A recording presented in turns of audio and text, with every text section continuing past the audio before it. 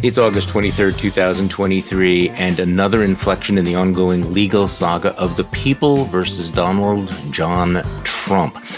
On this episode of the Trump trials, we're going to talk about flipping witnesses, perp walks, and a former president's latest bail restrictions. Just another summer day in Trump's America. But but first, let's talk a little bit about uh, tonight's debate. If uh, past is any indication, there are going to be a lot of hot takes, punditry, and gross over analysis for an event that might not mean anything at all, but that doesn't mean that it won't make any difference. I mean, if Ron DeSantis has a really, really bad night, that might be it for the Florida man. On the other hand, if he's engaging, funny, effective, and remotely human, he just might turn things around. But how likely do you think that is? Somebody actually asked me. So, uh, what would surprise you uh, if it happened at the debate tonight? If if Ron DeSantis shows up as an actual human being who doesn't read from the talking points that he's already telegraphed in that memo. But, you know, just take a step back. I, I, I know we keep saying that we shouldn't allow ourselves to be numbed by all of this, but we do. If you think about this moment, where we are at on a Wednesday where eight Republican candidates are going to be debating here in Milwaukee. By the way, it's really, really hot here, but they're going to be on a stage without the nearly prohibitive front runner. Meanwhile, tomorrow he's going to be charged, arrested, mugshot for the fourth time. I mean, I talked to David Smith from The Guardian about this yesterday. I pretty much said the same thing that I said on the podcast with Tom Nichols. I said, it's just impossible to overstate how surreal this moment is that you have a former president of the United States who is going to be charged with another 13 felonies. And this will be the fourth time this year we will see his his mugshot. He's going to be weighed. He's going to be out on bail, and yet he is leading the Republican field by basically 40 points. I mean, we've been battered and bruised for the last eight years, but this is kind of an extraordinary moment. This split screen in American politics, where you have these Republican candidates running for president over here, and on the other side of the screen, you have Donald Trump facing more felonies. And Republican voters are sitting back and they're looking at this and going, yeah, we're pretty much okay with this guy. Orange is the new black. So it is extraordinary. In uh, my Morning Shots newsletter, and by the way, if you don't subscribe, I would I would appreciate if you would at least consider it. Uh, we really uh, are very very grateful for all of our subscribers, and particularly the Bulwark Plus members. And I offer kind of a modest suggestion for tonight's debate. Um, you know, part of the problem is there are just too many candidates on the stage, and that means that even though they may have hundred minutes of talk time, just do the math. You have eight candidates, means that they'll get about what 12 and a half minutes each to get their big breakout moment to express their vision. How likely is that to happen? I mean, these debates just come down to a couple of, of sound bites. But I was thinking, then again, I don't expect anyone to take my advice, although there may be, you know, one moment where they do, which I'll get to in just a moment.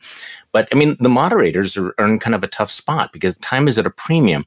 And you know that all these guys are going to be and women are going to be showing up with the talking points in their you know stump speech blather. And when you ask a question there's always that chance you'll get one of those meandering on the one hand on the other hand convoluted you know rationalizations. So one way that they could deal with this is to ask us a series of, of direct yes or no questions and ask for a show of hands. And this has been done before. I remember this that happened four years ago. Wasn't it at one of the Democratic debates where everybody was asked to raise their hands on a number of issues involving healthcare and immigration? So I think, and I'm, and it is possible that Brett Baier might do this, but here's my suggestion. You know, say, okay, everybody on the stage, we can talk about this at greater length, but I, but I want to ask you a direct yes or no question. Please raise your hand. If you believe that Joe Biden won the 2020 election, how many of you here believe that Joe Biden won the 2020 election? Then you're going to have a moment, right? They either raise their hand or they won't raise their hand. Okay, that would be number one. Now, if I was more ambitious, if I was there, I would keep going on. I would say, okay, how many here think that Mike Pence did the right thing on January 6th by resisting Donald Trump's pressure to throw out the electoral college votes, you know, cast by millions of Americans?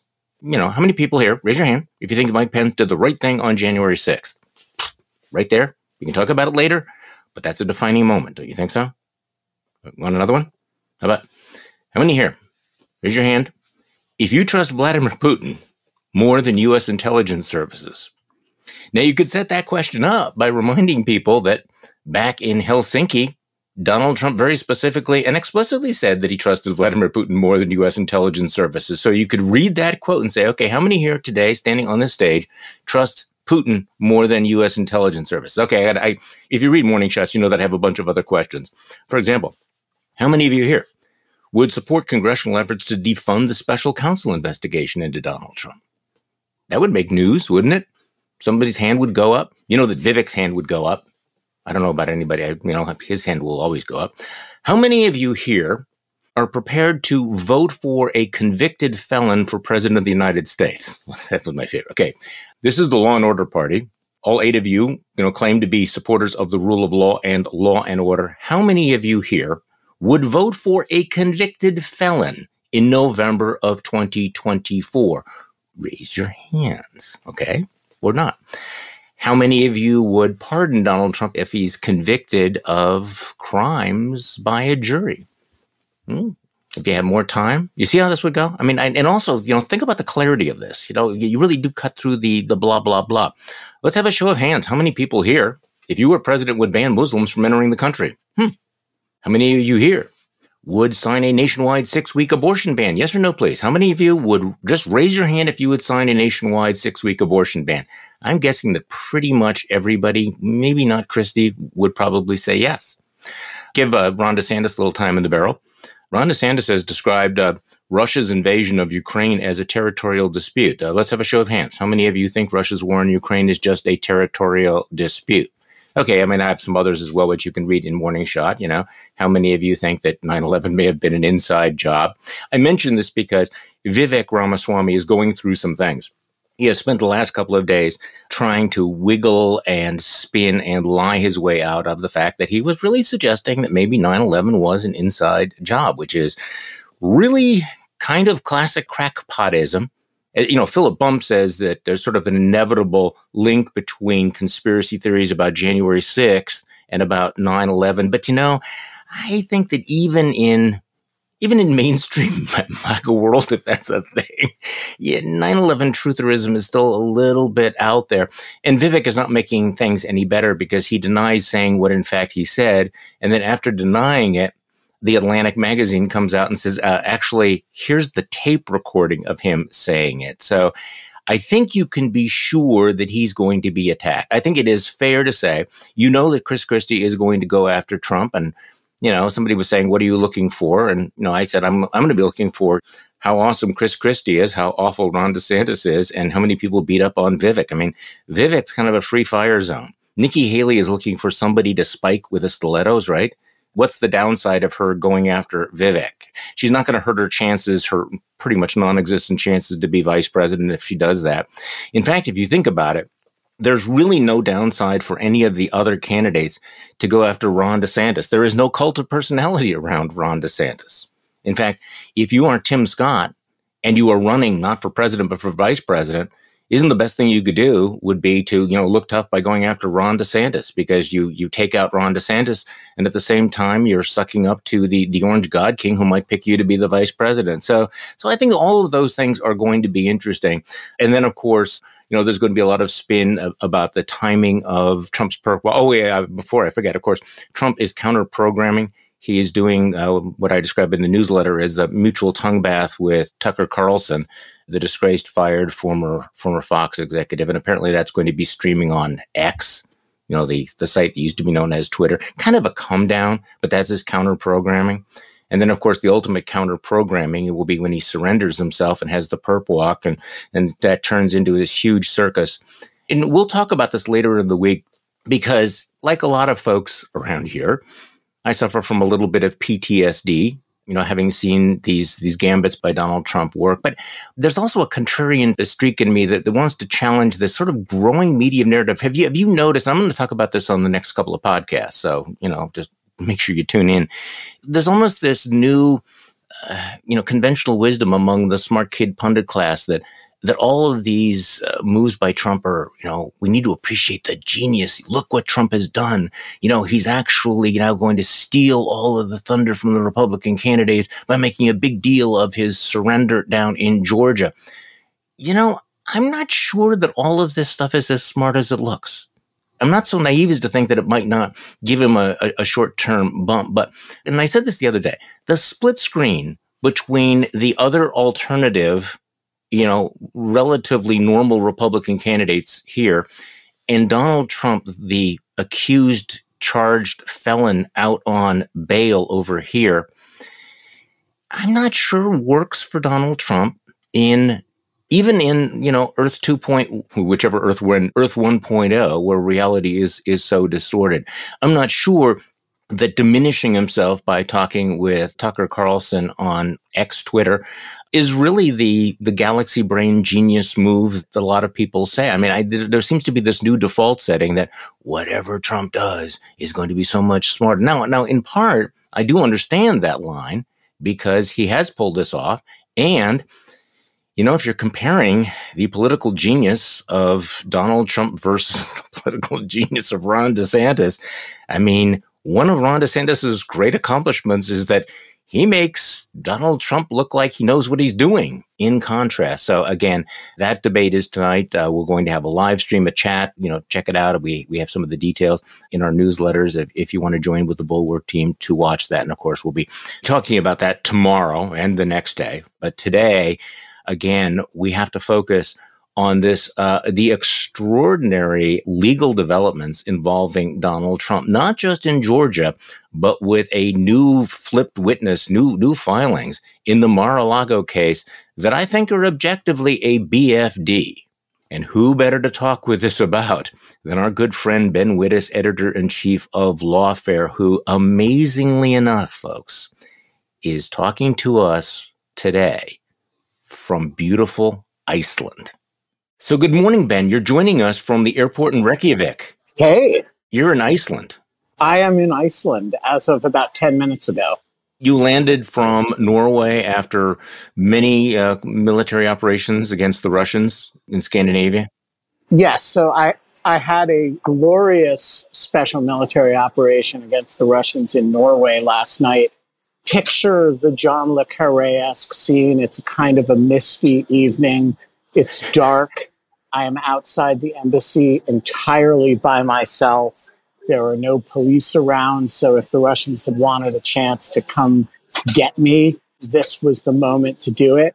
If you look at the live stream, I um, admit that I'm a little bit nervous about it. Mm-hmm. And on the other hand, the conditions for projecting were kind of perfect. I was right up there, right up front. And so I started projecting and immediately street traffic develops around it, you know, just people wandering in, taking pictures, and immediately becomes really safe because there are people there. People had things they wanted to say to the Russians. And it was glorious. I have things I'd like to say to the Russian. Okay, so what did you project on the Russian embassy? oh, my usual mix of symbols and you yeah. know expletives uh, in in Russian, and you know things things that warm Ukrainian hearts when when they see them projected on the Russian embassy. Okay, so while you are waging this one man psychological war against Russia, you've been tracking some of the BFDs back here, I assume. I have, yes. Because remember, Charlie, one of the, the great battle fronts in the war for a free Ukraine is Fulton County Courthouse. Right. And one of the battlefronts for a, in the long run, free America mm-hmm. is, you know, Donbass. So we, you know, we just have to keep in mind that this is all one struggle in the largest sense. Well, let's talk about the struggle over the last 24 hours. Um, we had this uh, rather extraordinary filing by Jack Smith in the Mar-a-Lago uh, case, uh, where the security aide is apparently flipped. It's never a good thing when a witness uh, flips. Uh, here's the lead from Politico. A Trump employee who monitored security cameras at Donald Trump's Mar-a-Lago estate abruptly retracted his earlier false grand jury testimony and implicated Trump and others in obstruction of justice just after switching from an attorney paid for by a Trump political action committee to a lawyer from the federal defender's office in Washington. Now, according to this filing from Jack Smith's office, I think it's Yuscil Taveras, the director of information technology at Mar-a-Lago, initially testified to the DC grand jury that he, he was unaware of efforts to erase videos from the security cameras, but they squeezed him. They said, okay, oh, you're under investigation for perjury. He basically now dumped his Trumpist lawyer and has told uh, the prosecutors, yeah, I lied to you about that. Um, I did talk about this uh, this attempted erasure, this attempted cover up, and he has uh, he has fingered uh, Donald Trump and others. So, talk to me about about this because this seems like a really extraordinarily bad development for Donald Trump, and it also makes the the, the lawyers and the judge look pretty bad too. I just throw that in. It is a bad development for Trump. It does make the lawyers look bad, but there's a more important element of it that has relatively little to do with this case in particular and everything to do with the January 6th cases, both in federal court and in Fulton County. So this case involves relatively few unindicted co conspirators. There are a, a few people, uh, Mr. De Oliveira and Walt Nauta, who have been indicted along with uh, the former president. And then there are a number of people who, you know, are alluded to and who may have some jeopardy, but you don't have a list of, say, 30 unindicted mm. co conspirators and 17 or 18 co defendants like you do in Fulton County. And you don't have six very prominent unindicted co conspirators who everybody knows exactly who they are at least five of them, as you do in the case of the January 6th case. And what this incident shows, which of course we already knew, but was kind of a hypothesis, is that, you know, these cases are going to simplify by people pleading out of them. And so here you have, in, in the initial phase, you have a whole lot of people who are going to be willing to go down with the ship and they're going to lie to grand juries and they're all going to get the same lawyers who are going to be paid for by the Don of the organization. And it all feels very safe. And it feels like the dangerous thing is breaking ranks. But then, you know, you get indicted. Mm-hmm, and there mm-hmm. is nothing like an indictment to concentrate the mind. And you've now lied to a grand jury. You're represented by the firm and the firm looks more like a John Grisham firm than it does like, you know, Arnold and Porter. And there are dozens of these people, literally dozens of them, you know, who are relatively minor players who have really important information, did some bad things, and will flip. And you're going to see it in Fulton County. It's going to be the reason why Fani Willis is going to be able to gain momentum faster than her skeptics think she is because she's got, you know, she's got 30 unindicted co conspirators and, and 18 co defendants to work with. And one by one, those people are going to face the same question that this gentleman did, which is when the hammer comes down, do I want to be under it or not? And a lot of those people are going to say no. So when, I heard this story about the, you know, dropping the lawyer and then changing the testimony, um, in, inevitably I thought about uh, the story of Cassidy Hutchinson. It sounded like the same story where she had had a Trump financed lawyer and you know, had basically told her, you know, you don't remember anything, don't say anything.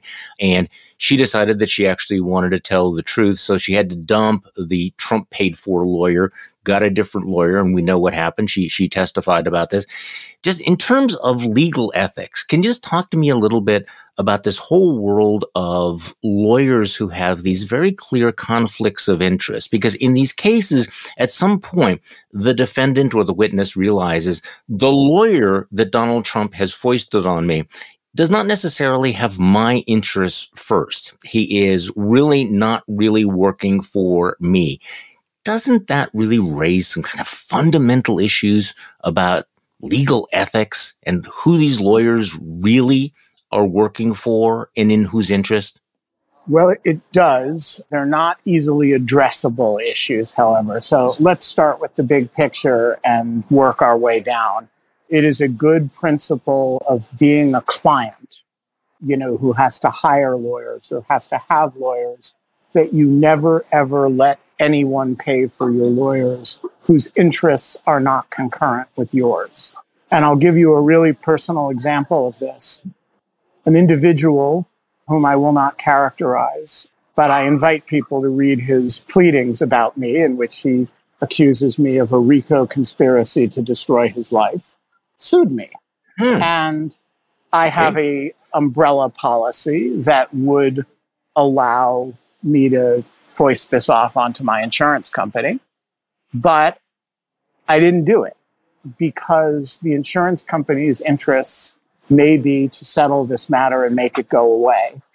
And I cannot settle with somebody who is accusing me of a RICO conspiracy to destroy his life. Right. And so I spent an inordinate amount of money on lawyers to make this be dismissed in a fashion that was as clear as possible that there was no merit to it. Mm. So that's a sort of microcosmic, unimportant example of what this is a macrocosmic, important example of. If you let Donald Trump's political committees pay your legal fees and you are somebody whose actual interests do not lie in going to prison for Donald Trump.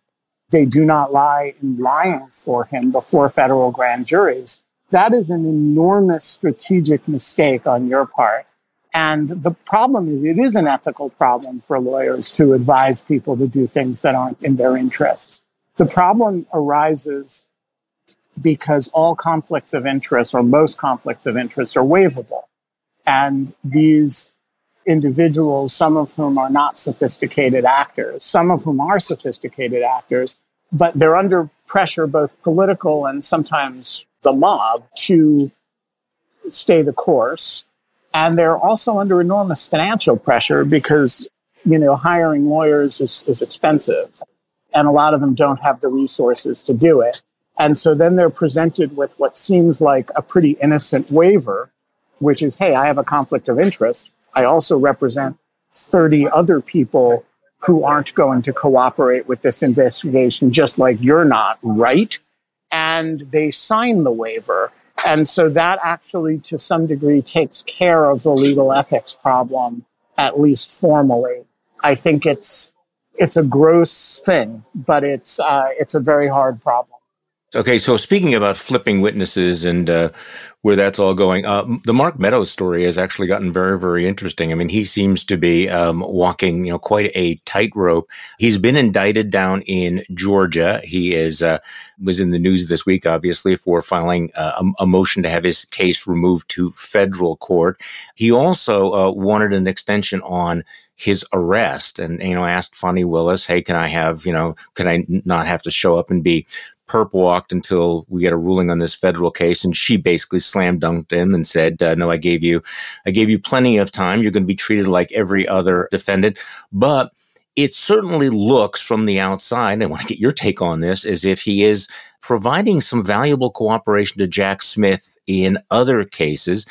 For example, um, it's been reported this week that he told the grand jury, he told the special prosecutor that uh, no, Donald Trump did not have a standing order to declassify all records that went from the White House down to Mar-a-Lago. Now that is really one of Donald Trump's central defenses that that he ordered these things declassified or that there was a standing order.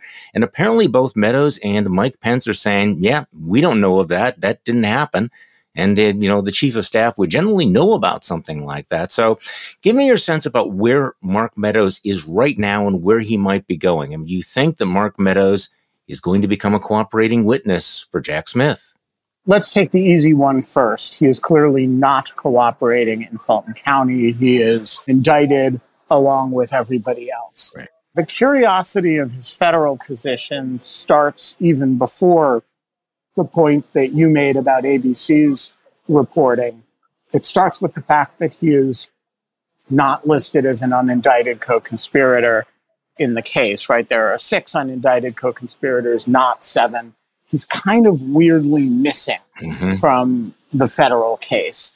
And given the facts that are alleged about him in the Georgia state case, which, you know, he's clearly a it's not like these facts were unknown to Jack Smith. The omission is interesting and it raises a question of what his status in the investigation is. Then we do have this leak that clearly, at least in my opinion, comes from, likely comes from the Meadows camp that appears to contradict the president's position in exactly the way that you say. All that said, I don't believe he has a cooperation agreement yet. And the reason for that is I think if he had a cooperation agreement, first of all, it's very hard for me to imagine, given what's alleged about him in Georgia, that he would have a cooperation agreement without a plea of some kind.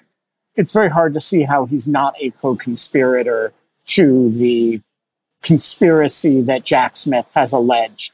And so my assumption is that he is, first of all, unlike these other uh, people, that he has clearly given testimony that they regard as helpful.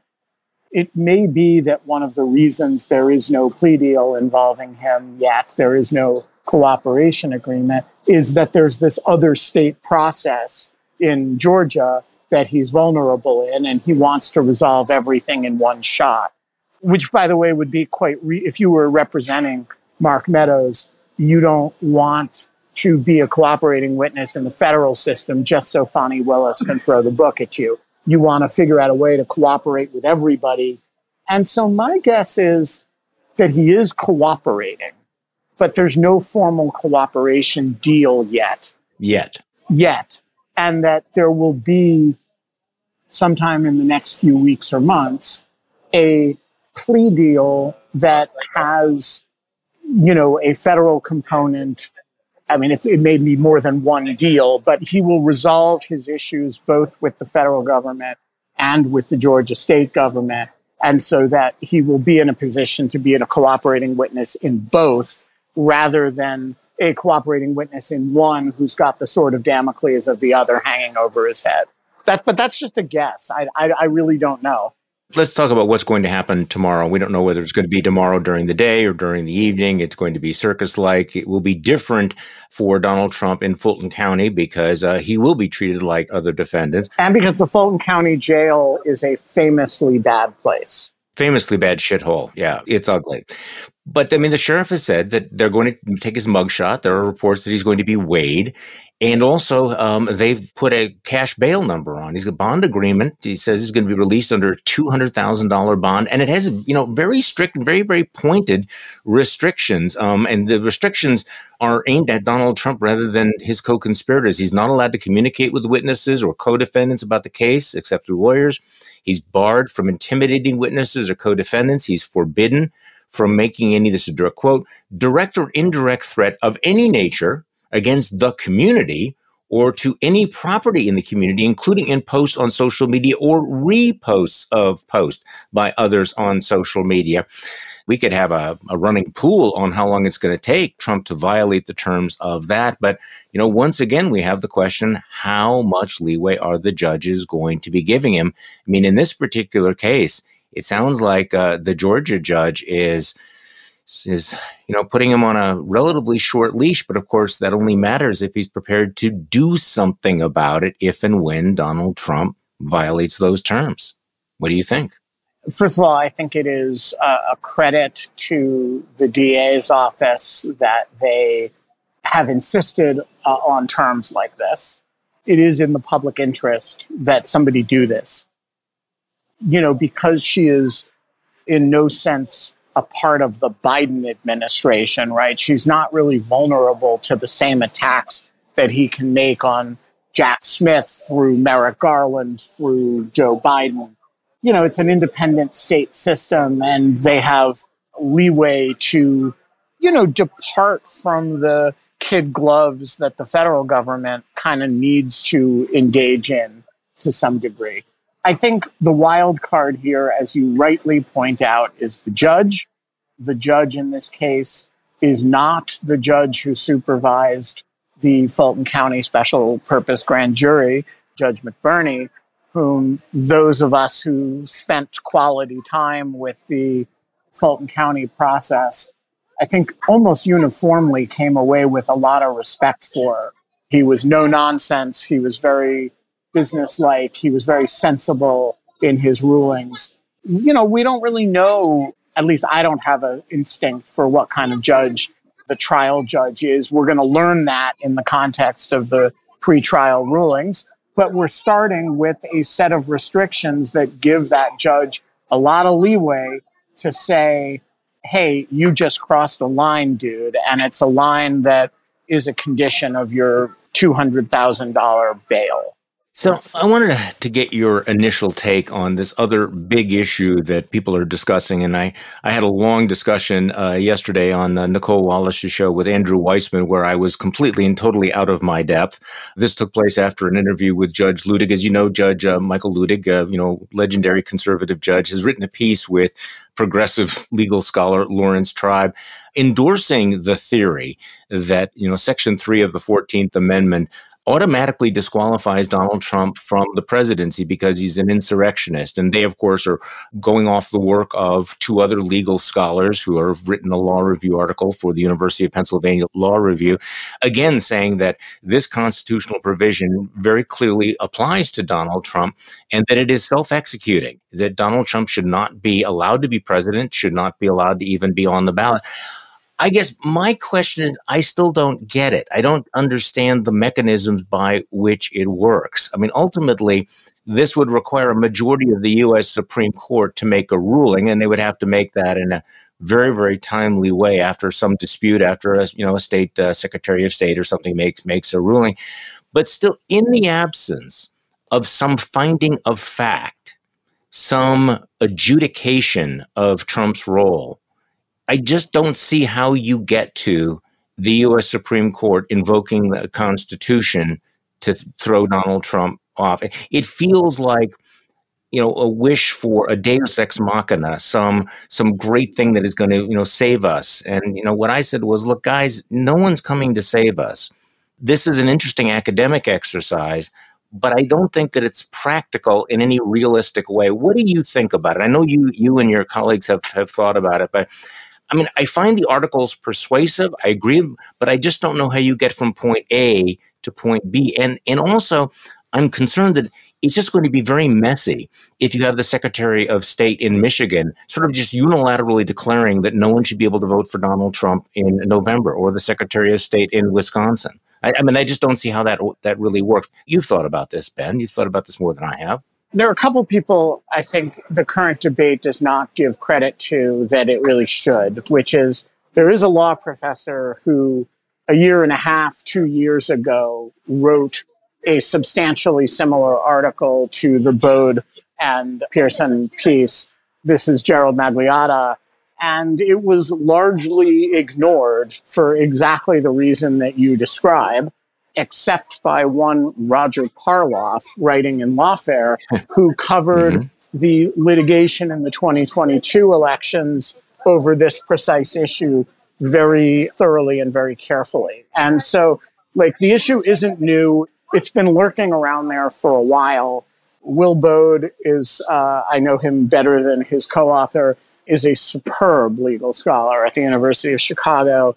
And, uh, you know, this is a very serious piece of work. And it's not surprising to me at all that a duo like J. Michael Luttig and Larry Tribe, who, by the way, have been friends for many, many years, you know, are engaged by it and advocating it now together. Mm-hmm. There's two arguments for pushing it. And one of them is that the text of the Constitution is super, super clear, right? And so you, you have to ask the question, what is textualism and originalism good for? If not to say that a disqualification provision that covers people who have engaged in insurrection covers Donald Trump. So one possibility is that it's a kind of a win-win from a jurisprudential point of view. Either you get the interpretation that actually disqualifies him. You get the disqualification deus ex machina, or you get something else, which is you force the Supreme Court to behave extremely politically in order to avoid that, not in a fashion that we're used to seeing, which is, you know, the Supreme Court behaving like like they have strong policy views of things that aren't always consistent with their but you know really intervening in the face of very clear language to protect Donald Trump. And so I think part of the attraction of it for people, you know, is that if you win, you win. And if you lose, you lose really righteously. I think that's probably the explanation for the attraction. I think it has a low probability of success for the simple reason that there are six votes on the Supreme Court who are likely to be skeptical of it for some combination of political and I actually can't think of other reasons. I think it's right as a matter of constitutional law and history. You know that I would like nothing more than for Donald Trump to be, you know, summarily removed from American politics. You know that I would regard this as a great moment. So my skepticism about this though is that okay, you go to the Supreme Court and then maybe this this will happen. And they will look at this and they go, okay, so the 14th Amendment also provides due process and none of this has been litigated. You say Charlie Sykes and Ben Wittes say that Donald Trump engaged in insurrection. Where is the actual court ruling or finding of fact that backs that up? Just simply because you and I believe that and we say that, they will say, where is the due process? And you are asking us to do something really radical and extreme, which is to deny Americans the right to vote up or down on this candidate for president of the United States, which from a political point of view, I don't know is going to be perceived as the righteous position. I mean, you and I, I think understand the issues here, but I think the blowback to basically saying you people who claim to be for democracy are now saying that you are not even going to allow the Republican nominee for president to be on the ballot. Boy, I sometimes be careful what we wish for here. Okay, so first of all, I agree with you. Uh, I think there's a very decent chance that that is what the Supreme Court will do with this. Although, by the way, just as a bracket at this point, I'm happy to explain it. I actually think that decision would be wrong as a matter of constitutional law, mm. but I can totally understand how you might get five or dare I say six votes for that view. But then you have two jurisdictions that have alleged facts that are consistent with insurrection, both of which want to go to trial before the election.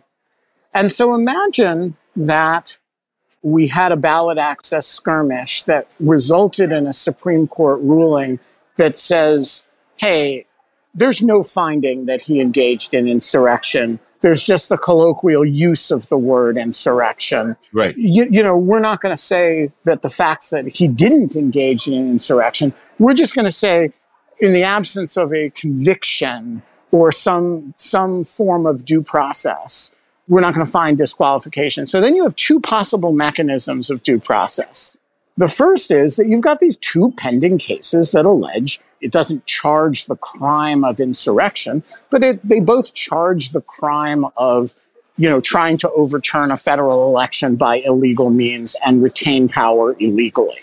And so you would have a, I think, a press to get those cases done and then go back to the Supreme Court, go back to the ballot access question and say, all right, you said there was no finding. We've had a full due process criminal trial proving X, Y, and Z beyond a reasonable doubt.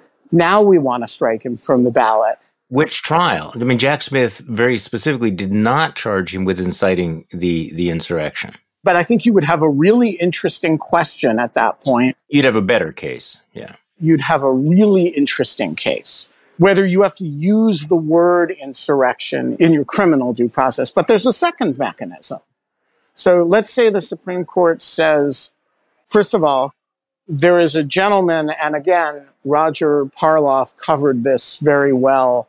He was a county commissioner in New Mexico, I believe, and he was actually thrown out of office the state court found that he was disqualified under the 14th Amendment for having participated in January 6th.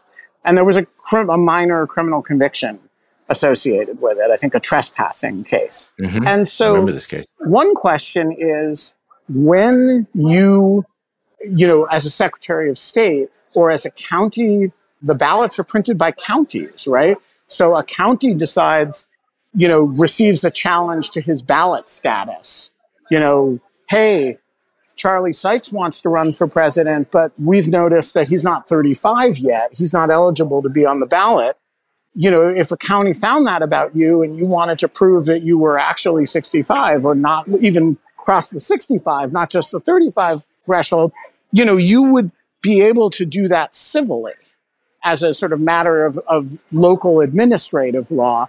And, you know, one possibility is that by the time it gets to the Supreme Court, you're going to have a bunch of records in a bunch of counties and state jurisdictions and courts in which they've held what are effectively mini trials and said, gee, this looks like an, an insurrection. And it won't be entirely without due process. It just won't be with a criminal conviction for the crime of insurrection. Okay, I want to get to two points. I mean, so one of my, my concerns, especially with the makeup of the Supreme Court right now, you know, the 6-3 conservative majority, is what would the political effect be in the middle of 2024 when you have a headline Supreme Court finds that Donald Trump did not incite an insurrection? If they throw this case out and in any of the language of this, they don't just make it a technical case about due process, but they find that that no, um, you asked us to disqualify him as an insurrectionist. We, you know, we are rejecting this case, and we, and, we find January sixth was not an insurrection. I, I don't know that that would be uh, bad. Here's my other more practical question. Okay, so in many states, if you are a convicted felon, you lose your civil rights, right? You are not allowed to vote and you are not eligible to run for or serve in public office, correct? This is, varies a lot by state. Right. Some states have very easy and quick return of civil rights. Some have, uh, like Florida and Virginia, have really restrictive return of civil rights. Notice that the president lives in Florida. Right. I guess the question is so the, the question of ballot access for a presidential race is it a state issue or ultimately is it always going to be decided at the federal level by the federal courts? Okay, so that is a purely federal issue. And the reason is because it is the qualifications to be president are written into the Constitution. That is, you have to be a native born citizen, you have to be 35 years old. They're very clearly laid out and there's only one negative qualification, which is from Section 3 of the 14th Amendment. You can't have participated in an insurrection. yeah, there is that, that little detail, or, or if you've been impeached too. Oh, no. sorry, to be precise, you can't have participated in an insurrection against the United States having previously sworn an oath of loyalty to it. Mm. So, you know, if you're just some dude, Section 3 is not going to cover you. You have to have sworn loyalty. That's really interesting. Okay, so one thing happened uh, this week that was uh, somewhat unusual. Uh, Donald Trump apparently did listen to his lawyers. He was going to have that big press conference where he claimed he was going to lay out all of the non-existent evidence of fraud in Georgia. His lawyers probably told him, "We will quit if you do that. If you repeat the same lies that resulted in all of this." So Donald Trump said, "All right, I'm not going to have this. Um, we're going to." File this uh, with the court as part of our defense, which also, Ben strikes me as unlikely because isn't filing false information with a court the kind of thing that got him in trouble in the first place? I'm the layman here. It seems highly unlikely that his lawyers will allow him to file his farrago of lies as formal pleadings in Georgia state court either. What do you think? Correct. So, you know, unlike a lot of his lawyers, the guys who are representing him in these cases are pros. Mr. Lauro is, is a serious lawyer, and anybody who doubts that should listen to his presentations on the Sunday talk shows. And, you know, Chris Kise is a very serious guy as well. These are not trivial people, and they are not going to defend him by filing documents that will get them sanctioned. Good criminal defense lawyers are very good at being good criminal defense lawyers, which is to say, make arguments that are ethical in the world of legal ethics, ethical for them to present and don't contain bald faced lies, but which are favorable to and advantageous to their client. Whether they can control the rogue elephant is, is one question, but another question is whether they will advance this material in court, and the answer is no. Well, Ben Wittes, uh, this was a first. This is the first time that we have done a podcast from Iceland, and appreciate it very much. Ben Wittes talking to us from the Reykjavik airport in Iceland, where he landed just a few minutes ago from Norway, and yet was able to roll off the plane and do an entire podcast. You're an amazing beast, Mr. Wittes.